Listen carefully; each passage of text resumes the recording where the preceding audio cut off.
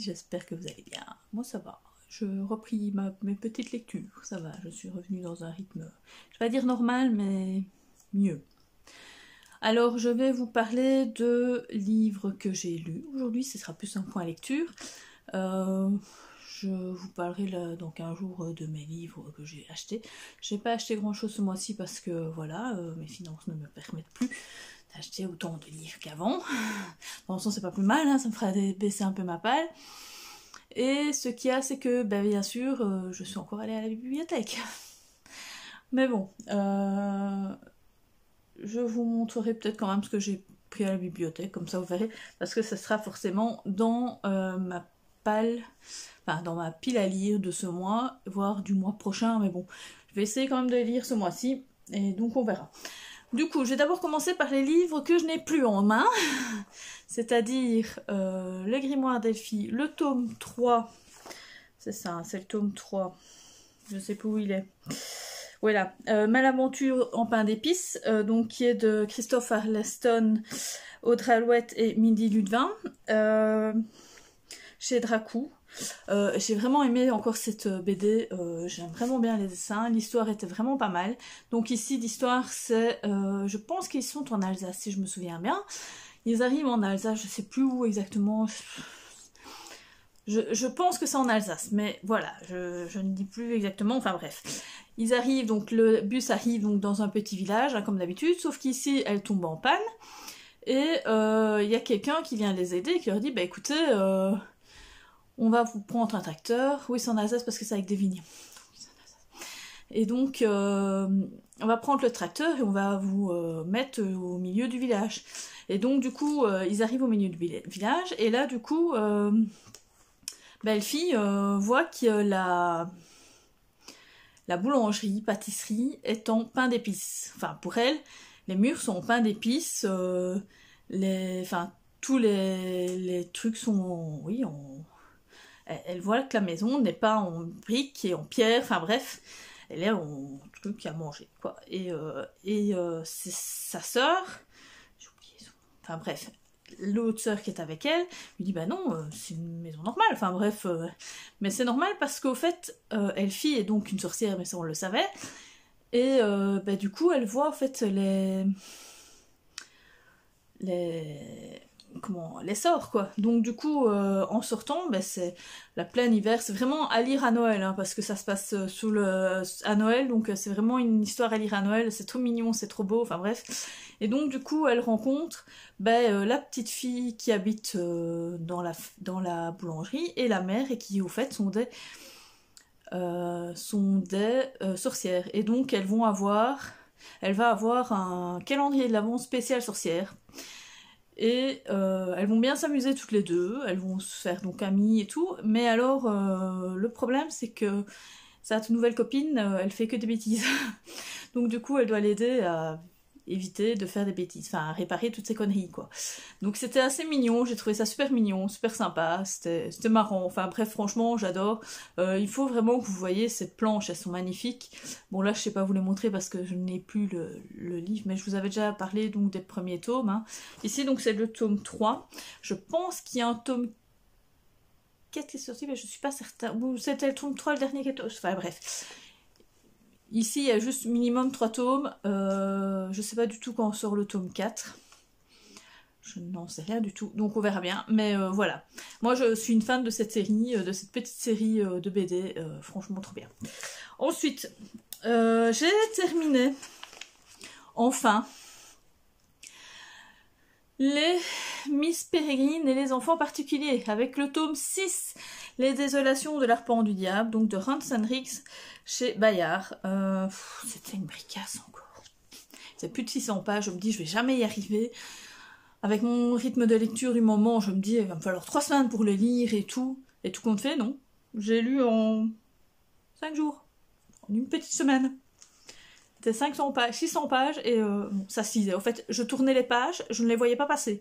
Je ne voyais pas défiler. En fait, je, tournais, je tournais, je tournais. Je dis, oh, super, c'est génial. Et au fait, en effet, l'histoire, elle est géniale. La fin est franchement géniale. Je me dis, encore un tome. Enfin, je, commençais, au fait, ça commençait à me, peser parce que je trouvais que la série commençait à s'essouffler et tout. Même si le dernier tome était pas mal parce qu'il y avait un nouveau, euh, un, une, une, nouvelle petite, euh, un, nouveau défi qui était en train de se faire. Mais euh, ça commençait à devenir long en fait, quand même. Même si c'était un nouveau défi et tout, je me dis là, puis ils sont quand même des briquasses. Ils font quasiment plus de 500 pages chaque tome, donc c'est vraiment voilà quoi. Et puis euh, j'ai adoré Steve. J'ai adoré ce tome. J'ai franchement bien aimé cette saga. Euh, ce tome est palpitant jusqu'au bout. Il est, euh, l'écriture est fluide, immersive. On ne s'embête pas une seconde. Il n'y a pas de temps mort quasiment. même les temps morts, au fait, ils passent. On les voit pas défiler. franchement, j'ai adoré. Et alors, la saga, eh bien, franchement, c'est un petit coup de cœur en effet, il y a quelques tomes qui m'ont un peu... dont j'ai oublié, on va dire plutôt. J'ai oublié l'histoire, enfin le... la période, mais maintenant, euh, moi dans tout le truc, ça a été quoi, ça ne m'a pas gêné d'avoir oublié ce qui s'était pas un peu passé dans les autres tomes, parce que ce qui s'est passé, c'était surtout ce qui était, ce qui s'était passé dans le cinquième tome qui était le plus important parce que c'est de là que euh, venait euh, la fin et tout, donc voilà. Mais sinon, de ce qui s'était passé dans le tome 1 et 2, entre guillemets, c'était pas bien grave si on ne le savait pas, ça gênait pas trop, enfin voilà. Mais franchement, je... on aurait dû continuer la suite en, film. Franchement, ça aurait été bien sympa. Mais je pense que le premier, le premier franchement, il m'avait pas m'avait pas accroché en fait le premier tome en film. Euh, enfin franchement, euh, mieux aimé le livre et tout, donc euh, voilà. Et ben voilà, j'ai terminé donc une saga qui n'est pas à moi hein, parce que je l'avais prise à la bibliothèque, mais j'ai quand même terminé une saga jeunesse. je suis contente de moi. bon bref. Ensuite, qu'est-ce que j'ai lu? J'ai lu Les Dead. J'ai lu deux tomes de Dead, je vais vous en parler maintenant comme ça les BD seront passés. Oh merde, j'ai pris le tome 1. Ben, c'est pas le tome 1, c'est le tome 2 normalement. Donc le tome 2, c'est Secret famille et le tome 3, euh, Néné Ravif. Alors le tome 2 euh, m'a fait rire, mais j'ai préféré par exemple le tome 3 qui était beaucoup plus marrant. Euh, le tome 2 par le, le fil conducteur était euh, par rapport à la pilosité de Dead. C'était assez bien, assez marrant parce que bon, ben, elle le compare à un singe, à un mammouth, enfin bref, c'est assez marrant. Mais à part ça, voilà, il y avait quelques planches super, super mignonnes, super marrantes, mais je sais pas, j'ai pas plus accroché que le tome 3, j'ai vraiment bien aimé. Euh, dans le 3, on a plus... c'est Dead au fait qui... Enfin... le, le, fil conducteur, en fait, c'est la mère de J'hésite toujours. Ondine, je pense. Ondine, celle-là. De celle-là, là, donc, euh, qui vient, qui débarque, au fait, euh, chez, euh, chez eux. Et, au fait, la mère, elle est actrice, hein, donc, de, de, Ondine. Et donc, tout ce qu'elle sait faire, c'est boire du champagne, se prélasser, enfin, bref rien foutre de sa journée, quoi, entre guillemets, quoi. Et, donc, du coup, euh, ben, Dead, il a déjà des mal euh, à finir ses fins de mois, il a vraiment, vraiment du mal et tout. Ben, la mère d'Ondine ne perçoit plus rien, ne lui donne plus de sa, sa truc, euh, la truc familiale, enfin bref. Et donc, du coup, elle vient là s'installer et ben, Dead, il en peut plus, il ne supporte plus, enfin bref. Et c'est à mourir de rire parce que ben, on se rend compte qu'au fait, euh, même si lui est acteur, euh, ils ont les mêmes centres d'intérêt, euh, voilà quoi, c'est pas pour ça qu'ils s'entendent quoi. Mais il y a certaines scènes un peu marrantes, dont Odette qui chante la chanson pour, les, pour essayer d'endormir bébé Bérénice. C'est à mourir de rire parce que franchement, elle est trop marrante. Mais sinon, Ouais, j'ai vraiment bien aimé ce petit tome. Euh, je continue la série, hein, donc ici il y a euh, 9 tomes. Donc je lis un tome, plus ou moins un tome entre chaque nouveau livre, plus ou moins. Euh, comme ça je l'aurai vite fini, enfin fini, parce que de toute façon elle n'est pas terminée. La, Je ne pense pas qu'il va terminer la, saga euh, des Dead, enfin j'ai pas l'impression. Ça, fonctionne bien, donc... Et donc voilà, je... Donc c'est de Nob, hein, j'ai oublié de Nob, et j'ai oublié de vous le dire, donc c'est de Nob et aux éditions du Puy. moi j'aime vraiment bien, les dessins sont super mignons, déjà quand on voit là. là on les voit, ils vont... ça me parce que monsieur, enfin, Dad part avec ses filles en camping, sauf que c'est dans un parc municipal à deux pas de la maison, quoi. Et donc ils se font arrêter parce qu'ils peuvent pas, en effet, se mettre là, quoi. Enfin bref, c'était assez marrant. Ensuite, euh, j'ai lu, euh, j'ai terminé une autre saga, une autre trilogie. Euh, il était temps aussi parce que celle-là commençait. Mais pas qu'elle m'ennuyait, mais c'est pas que ça s'essoufflait, mais j'avais envie de savoir la fin en fait, de ce qui allait se passer et.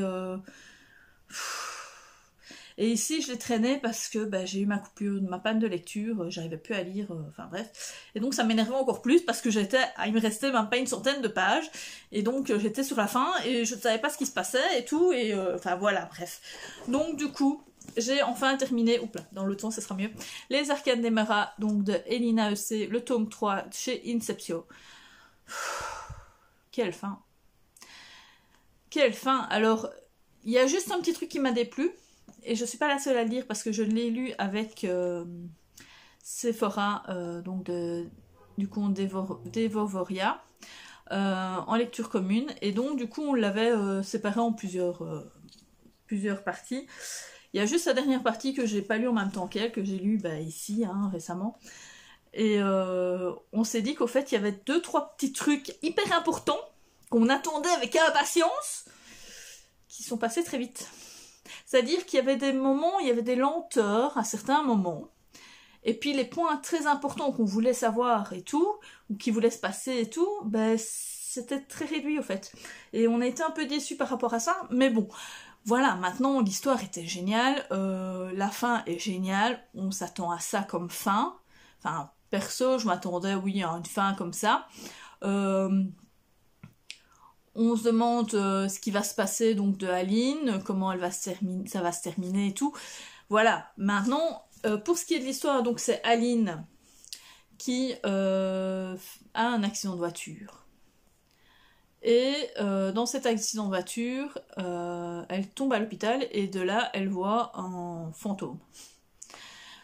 Ce fantôme, il s'appelle je ne sais plus comment,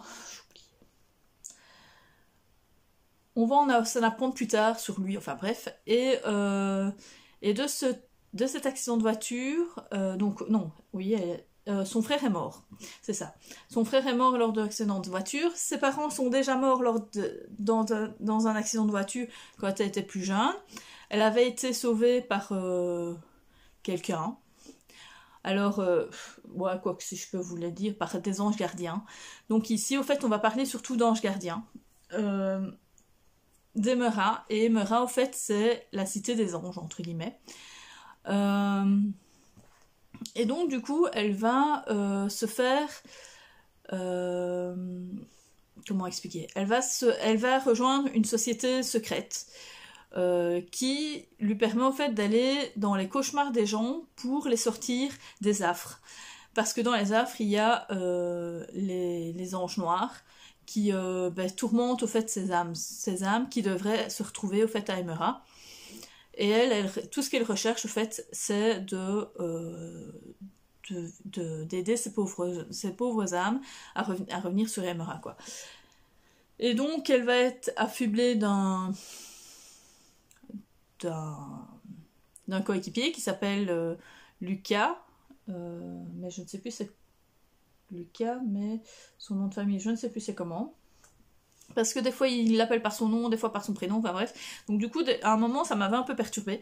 Et donc du coup, euh, ben, il va s'en suivre quelques petites choses entre eux deux et tout, et puis bref. Et il va se passer plein de choses dans cette, dans cette trilogie. Euh, elle va en apprendre beaucoup sur sa famille aussi, énormément. Euh, Enfin bref, je ne saurais pas trop vous... C'est compliqué au fait de, de, résumer une trilogie parce que ben, j'ai peur de vous spoiler quoi. c'est trop... Mais euh, c'est franchement écrit sublimement. Franchement, euh, on est à fond dans l'histoire. Euh, il y a des lenteurs mais sans trop. Les sentiments des personnages, on les sent bien. Il y a beaucoup d'émotions quand même à certains moments. Lucas, il sort à un moment, il y a des moments où t'en as marre de le voir. Hein. Tout ce que t'as envie, c'est de lui foutre des claques. Mais après, ça va mieux. Et Aline aussi, de temps en temps, la façon dont elle réagit et tout, t'as envie de lui foutre des claques parce que tu lui dis putain, euh, t'es un peu colle là, euh, enfin, réagis autrement et tout. Et, euh, mais sinon, voilà, j'ai vraiment bien aimé. Je vous conseille réellement cette saga. Elle est géniale, cette petite trilogie. elle est sortie d'ailleurs en intégral chez Inceptio. Les tomes font environ 500 pages, donc ça fait environ 1500 pages hein, à lire. C'est ça le problème, et c'est une trilogie, donc c'est pas non plus, euh, hein, voilà. Euh, et je vous, franchement, je vous conseille réellement de lire cette trilogie. Oui, je vous le, je vous l'ordonne, même. non, je rigole. Mais bon, franchement, euh, allez-y, foncez. vous allez pas y croire, en fait. C'est tellement, c'est une saga qui est tellement, c'est un peu un ovni parce que franchement, on parle jamais de ça, des anges gardiens. On parle jamais de, de ça et et, des cauchemars, on en parle très rarement dans la, dans la littérature, que ça soit en fantasy ou en fantastique, c'est pas des, ce sont pas des, des, trucs dont on parle, quoi. Donc, euh, franchement, c'est un peu ovni, c'est pas mal. Franchement, j'ai vraiment bien aimé. Euh, ouais, c'est un coup de cœur. Enfin, franchement, euh, je, je, je, vais sûrement les lire un jour ou l'autre dans quelques années parce que c'était génial quoi. Franchement, euh, oui, c'était vraiment génial. Euh, j'ai vraiment bien aimé. Et même, je pense que je, la, je, je pense qu'en la relisant, je vais encore mieux l'apprécier parce que ici j'ai mis du temps entre le premier et le deuxième tome, j'ai mis énormément de temps. Que là, ben, en les lisant tous d'un filet, je pense que ce serait le pur bonheur. Oui, il vaut mieux pas trop attendre entre les tomes euh, parce que vous oubliez pas mal de choses et il y a pas mal de trucs hyper importants à retenir. Autre que les personnages, euh, franchement, il y a plein de petites choses comme ça qui reviennent dans les tomes suivants et euh, que si vous vous en souvenez pas, vous n'allez pas trop comprendre tout quoi. Donc voilà, franchement, allez-y, foncez, c'est une, des, meilleures trilogies que j'ai lues. Alors, j'ai eu la possibilité par euh, euh, Booknote et par Hachette de recevoir un livre euh, dans la, avec l'opération Lire avant tout le monde, donc de Booknote, parce que ça fait des années que je suis sur Booknote. Ça fait. ça fait, ça fait, ça fait au moins. au moins 15 ans que je suis sur Booknote, hein, donc ouais, non, ça, ça date quoi. J'étais encore à Dinan à cette époque-là, ouais, non, ça fait. ouais ouais, ça fait bien 15 ans que je suis sur ce compte, une bonne quinzaine d'années. Je sais pas depuis quand il est ouvert, mais bon, il est ouvert depuis les années 2000, je pense, et euh, j'étais, euh, j'y suis allée assez rapidement. Euh, je n'avais pas mis directement toute ma bibliothèque, mais j'y mettais mes commentaires et tout. Et puis un jour, j'ai pris le temps de mettre tous mes, commentaires, enfin, de mettre, non, de mettre tous mes livres en, marche, tout ce que, enfin, de mettre toute ma bibliothèque, tout ce que j'avais lu comme livre, enfin bref. Et donc, du coup, euh, ben, euh, depuis le début de cette opération, donc Lire avant tout le monde, qui a commencé il y a déjà facile 10 ans, euh, j'étais sélectionnée quasiment presque à chaque fois. Pour ça, présélection directe, j'étais prise et tout. je pouvais, oui ou non, choisir le fait que je le prenais ou je le prenais pas. Et puis ici, je me suis dit, oui, je prie. Ça m'a complètement sorti de la tête parce que je n'avais jamais, jamais, jamais rien reçu. Puis un jour, je reprends à la je vais à la à la, boîte aux lettres et qu'est-ce que je trouve? Une enveloppe assez grande avec marqué achète. Je vais acheter chez Hachette et puis euh, je dis tiens c'est nouveau, je, suis en part avec Hachette. Après, je me dis non il y a un problème là et puis après je vois sur le livre il est marqué booknote. Ah d'accord, je l'ai eu dans le truc. Et puis alors je regarde en effet dans la liste des gens qui l'avaient eu, enfin les prénoms et je me dis ah oui ben c'était ça. Donc du coup j'ai eu le fabricant de l'arme, le tome 1 de Erin Dom euh, qui est je pense une romance young adulte assez sombre. Alors, quand je dis je pense, dans le sens où c'est parce qu'il est marqué derrière. Là. La petite phrase d'accroche. Parce que à part ça, franchement, on sait pas de quoi ça cause. Enfin, c'est pas, pas de quoi ça cause, mais il n'y a pas vraiment de romance. C'est un premier tome. En effet, c'est du young adulte, total. Donc pour moi, j'ai apprécié l'histoire mais j'ai pas accroché.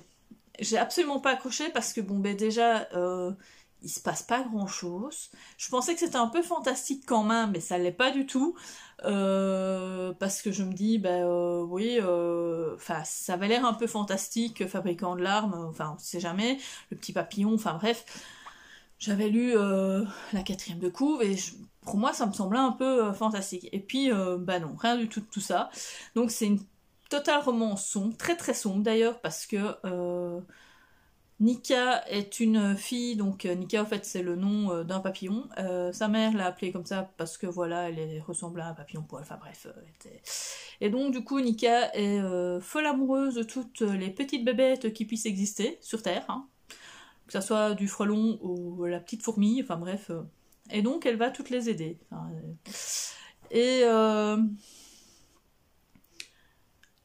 et, voilà, et elle, elle, était dans un orphelinat, donc elle est dans un orphelinat, et euh, elle fait la rencontre donc de d'une femme, enfin une femme arrive à l'orphelinat et euh, bah, elle tombe dessus et euh, elle dit bah tiens je vais l'adopter quoi. Et de là il y a Rigel, donc son pire ennemi, parce que là c'est ce qu'on pense hein, dans l'histoire, hein, c'est son pire ennemi. Euh, joue au piano et euh, du coup elle se dit non je vais prendre aussi le garçon. Donc du coup tous les deux sont euh, sont adoptés en enfin c'est une adoption mais il y a toujours un laps de temps où les enfants ils sont pas adoptés directement. Je veux dire qu'il faut voir si entre la famille et les enfants ça va bien se passer, si entre les deux enfants, enfin, il y a toujours quand même il y a un petit il y a un petit laps de temps qui fait que ben ils sont pas adoptés définitivement. Mais ici, du coup, ben, pour ce, dans ce premier tome, donc là ça se passe sur quelques mois, hein, euh, eh bien, euh, voire même peut-être pas quelques mois, quelques semaines, euh, ben, Rigel, Rigel qui est ben, une des qui est une des étoiles Hein. Euh, il s'appelle comme ça parce que c'est la.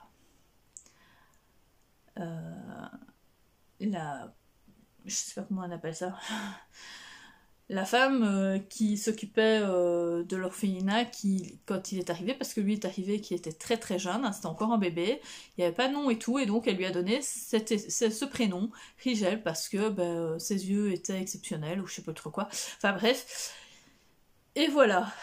Et puis on sait qu'il s'est passé quelque chose parce que on sent qu'ils ont un peu peur et tout, ils veulent pas parler de ce qui s'est passé à l'orphelinat et tout, enfin bref, c'est assez bizarre. Euh, Rigel a des, euh, des comportements très très très très très très très bizarres. Mais alors, euh, il est très mystérieux, mais il a en même temps des comportements très bizarres. Il veut jamais qu'elle l'approche.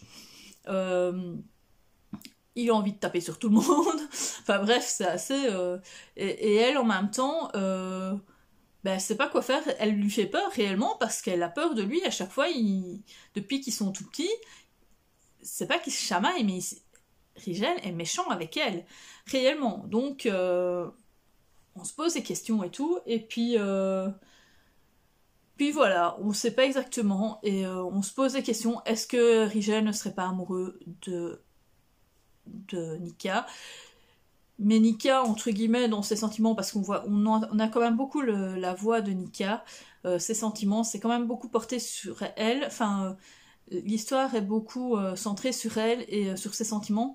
Très peu sur Rigel. On a de temps en temps des, des, émotions, on sort, enfin, il nous sort ses émotions et tout par rapport à, lui, mais c'est surtout de la voix de, de Nika qu'on suit l'histoire en fait. Et, euh, Nika, elle, pas du tout, elle est pas amoureuse du tout de lui, euh, enfin, pas à ce que sache. enfin, moi, en tout cas, euh, c'est pas comme ça que je vois dans l'histoire. Mais euh, voilà, quoi. Enfin, c'est très bizarre, quoi. C'est, Oui, je pense que j'ai été fort brouillonne dans cette explication. Mais pour moi, ça a été très brouillon. Mais par contre, l'écriture est une écriture d'une poésie superbe, d'une longueur.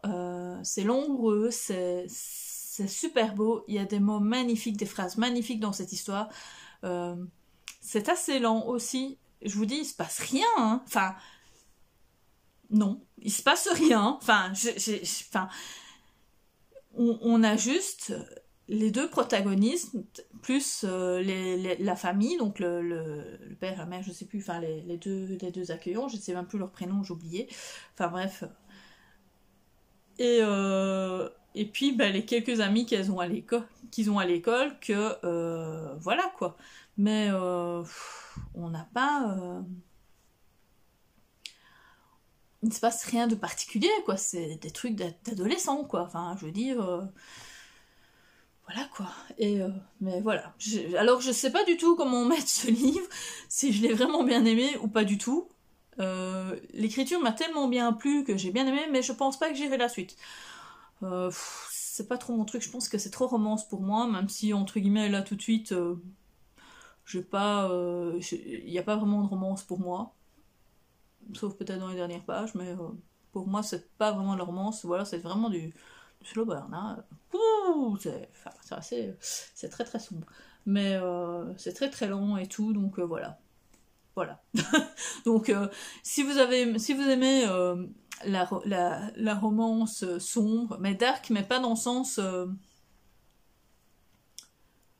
violente. Vous voyez ce que je veux dire? C'est pas. c'est young adulte, hein. donc c'est entre guillemets de la dark romance, mais young adulte. Donc euh, c'est pas euh, des viols et tout le bazar, il n'y a rien de tout ça. Euh, ici c'est du slow burn, hein, se passe rien quoi. Avec les protagonistes, hein, donc voilà. Enfin, je pense que c'est comme ça qu'on dit, burn. Je, comme je suis pas très romance, je sais pas vraiment comment on utilise, enfin, tous les mots, mais enfin, bref, voilà. franchement, je vous le conseille pour des petits jeunes, c'est pas mal quand même, mais à part ça, si vous aimez la romance, pouvez aimer. Ensuite, euh, je vais vérifier que j'ai rien d'autre comme livre que celui-là. je regarde dans mon carnet hein, de Céline. Euh, oups, je vais déjà dépasser. Euh, Miss Périne. Fille, de fabricants là. Hein? C'est bon. Et le dernier livre dont je vais vous parler, c'est euh, l'orpheline de Faudling, euh, bon, c'est en tome, c'est en deux tomes parce qu'au fait, euh, il vient de l'édition de La Loupe et de La Loupe, c'est des textes de très grande taille. oui, bien sûr, ici, il n'y a pas, a pas c'est écrit très très grand, c'est-à-dire que c'est du caractère 19, donc c'est très très grand. Et donc du coup, pour pas avoir un gros pavé de 600, parce qu'au fait, y il est marqué 660 pages à ce dernier tome. Donc le tome, le, truc est divisé en deux, mais il fait euh, logiquement 400 et des pages, euh, voilà. Donc c'est de Stacy Hall. Euh, c'est l'autrice de des sorcières de Pendle que je vous ai parlé il y a déjà plusieurs années, que j'avais lu au moment de Noël il y a bah, il y a trois ans, hein, parce que c'était au moment où j'ai fait mon burn-out.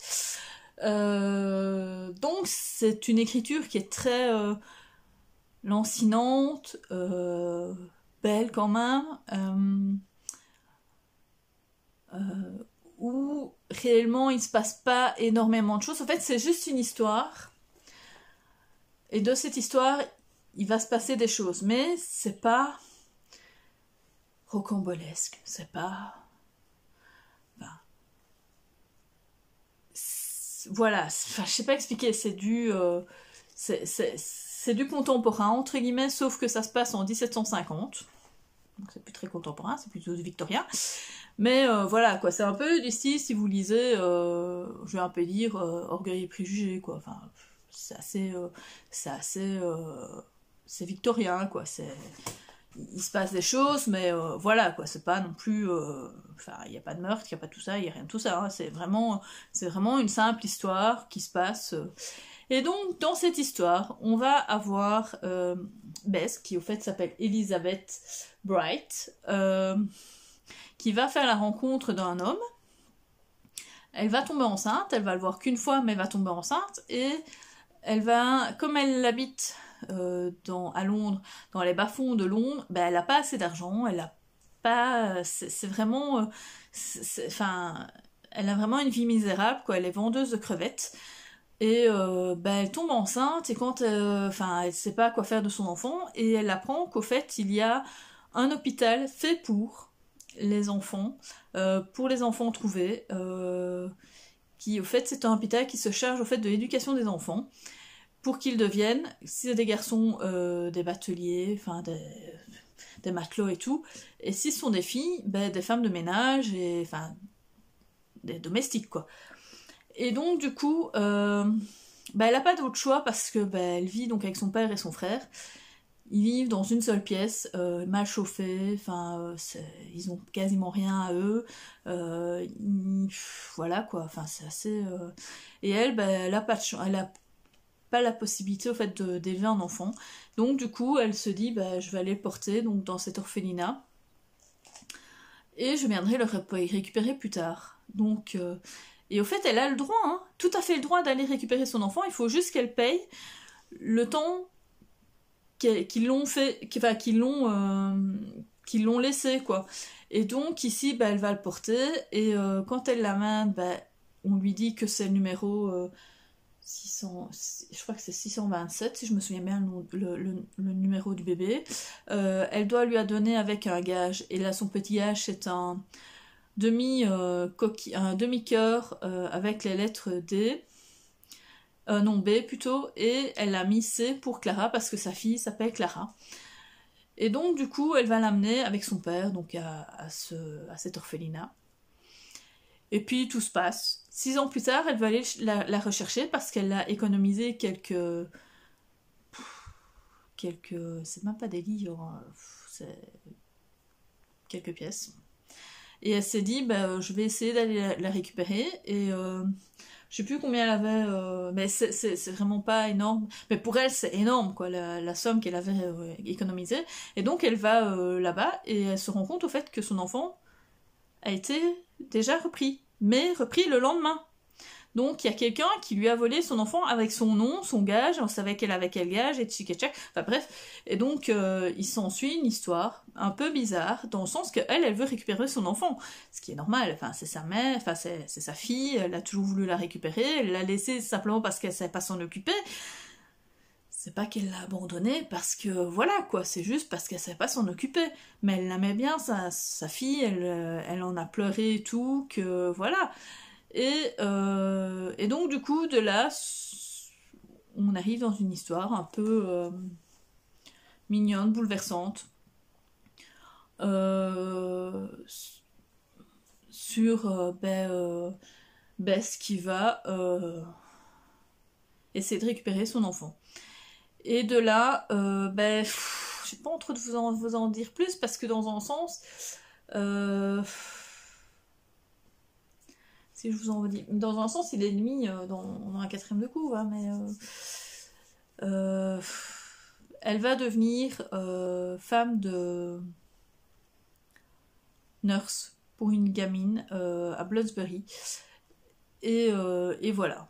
Je vais, je vais m'arrêter là, je vais pas en dire plus, parce que voilà, déjà là, je pense que je vous ai un peu spoilé l'histoire. je, je sais pas vous dire. Enfin, non, j'ai j'ai pas vraiment envie de vous en dire plus par rapport à l'histoire parce que c'est à découvrir. C'est pas un gros roman plus, donc euh, voilà. Euh, franchement, j'aime bien. J'aime vraiment bien l'écriture de cet autrice. Je, me dis, je me suis dit, ouais, Les sorcières de Pendel, j'avais bien aimé parce que c'était vraiment poignant et tout. Ici, c'était moins bouleversant quand même que Les sorcières de Pendel. Euh, j'ai lu en plus de temps aussi, mais franchement, c'était pas mal.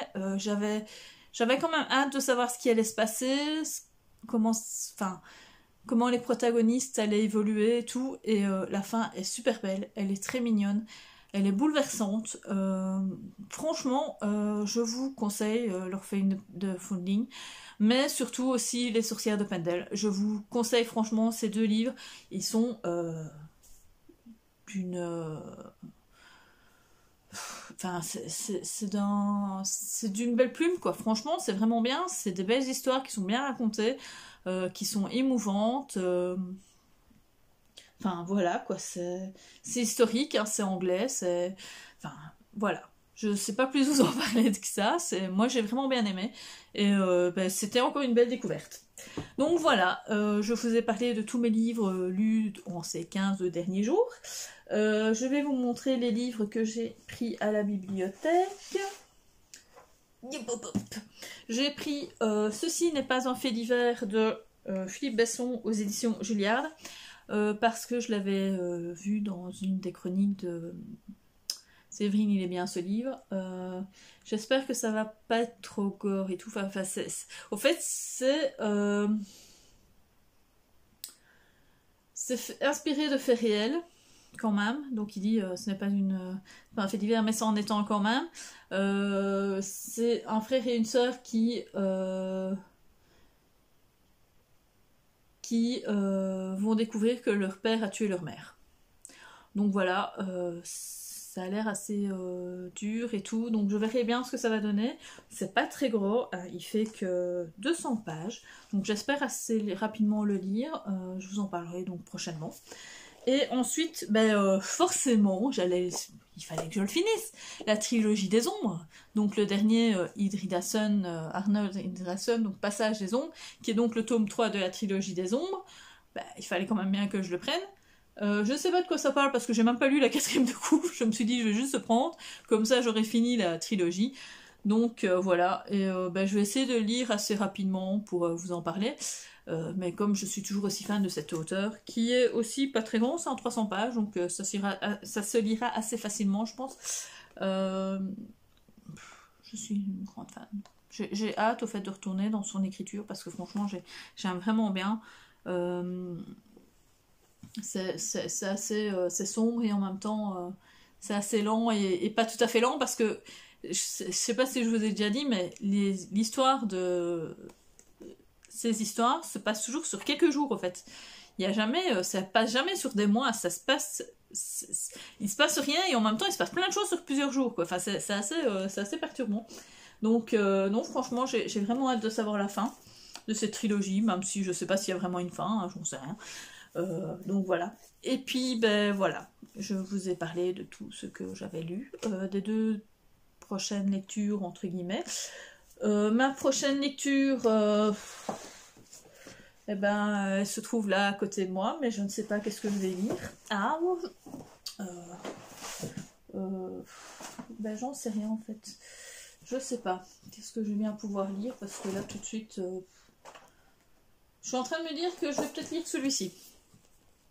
Euh, ils étaient donc de C à donc le club des amateurs de romans policiers au Cherche Midi, donc c'est le la nouvelle, euh, enfin c'est le, le, nouveau euh, Cozy Mystery, euh, mais par rapport à Agatha Christie, hein, donc ils étaient 7, ils étaient 10, voilà. Et donc je pense que je vais lire celui-là, il est pas trop gros, ça va me changer un peu, un, plus, un Cozy Mystery, ça va me changer un petit peu de mes trucs, même si là pour le moment c'est le mois de mai, c'est le mois de la fantaisie, j'hésite. Parce que j'ai un autre petit truc euh, que j'ai acheté il n'y a pas longtemps. Bon, je vais vous le montrer quand même. J'hésite entre ça ou ça. Buffy.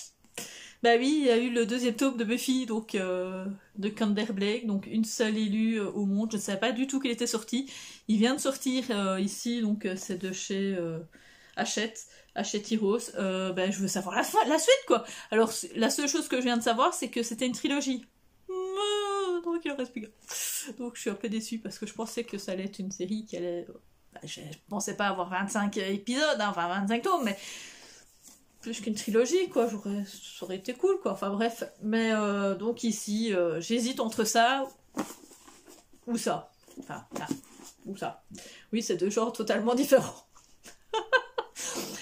Euh, J'en sais rien en fait, parce que là j'ai vraiment envie de retourner dans, dans mon monde de Buffy, parce que voilà, c'est Buffy, et en même temps j'ai envie de lire un, un hommage à Agatha Christie, hein, parce que c'est par rapport à, un hommage à Agatha Christie, donc voilà, je sais pas du tout. C'est mes deux, euh, mes deux mondes qui s'opposent et en même temps euh, qui s'attirent, enfin bref. Donc je sais pas. On va, je vais voir, je vais faire euh, paf paf paf pouf, enfin bref, on verra bien et je tire au sort. À moins je mettrai sur internet, ah, je vais peut-être mettre sur Instagram, tiens, ce serait peut-être une bonne chose.